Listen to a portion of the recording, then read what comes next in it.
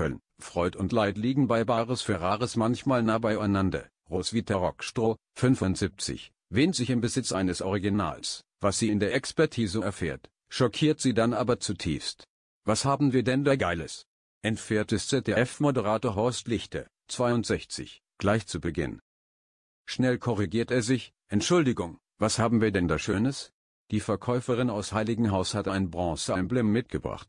Im Gespräch mit dem ehemaligen TV-Koch verrät die Rentnerin, dass sie das imposante Stück einst von ihrer Chefin als Zeichen der Anerkennung für ihre Arbeit erhalten hatte. Satte 1000 Euro wünscht sich Rockstroh für ihr Mitbringsel. Detlef Kümmel nimmt das Wappen der Schlafwagengesellschaft anschließend genau unter die Lupe. Laut Meinung des Experten hätte die Verkäuferin für ein Original bis zu 1800 Euro verlangen können. Doch dann die Hiobsbotschaft. Leider handelt es sich hier lediglich um einen Nachguss aus den 1970er Jahren, erklärt der 56-jährige Sachverständige mit betroffenem Blick. Schließlich taxiert er den Wert auf schmale 300 bis 350 Euro und betont, das ist das Maximum. Die niederschmetternde Expertise verfehlt ihre Wirkung nicht.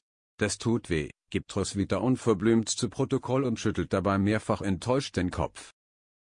Nach Expertenschock, Händler Fabian Karl sorgt für halbwegs versöhnliches Ende jahrelang war die Rentnerin davon ausgegangen, einen Originalguss der Zuggesellschaft Kompanie Internationale des Waggons Litz zu besitzen, dessen Wappen unter anderem auch den legendären Orient Express zierte. Pustekuchen. Nachdem sie einen Moment lang in sich gegangen war, entscheidet sich die Kandidatin, ihr Bronzeemblem auch für 700 Euro weniger verkaufen zu wollen. Dies ist stets die Voraussetzung, um von Lichter die Händlerkarte zu erhalten. Im Raum mit der nach Raritäten gehenden Käufermeute fällt allen aber gleich auf, dass es sich um eine Nachbildung handelt, denn am Schild würden die Bohrlöcher fehlen. Demnach war es also noch nie an einem Zug befestigt. Punkt Interesse an dem Prügel zeigen Walter Waldi Lehnertz, 57, und seine Kollegen aber dennoch.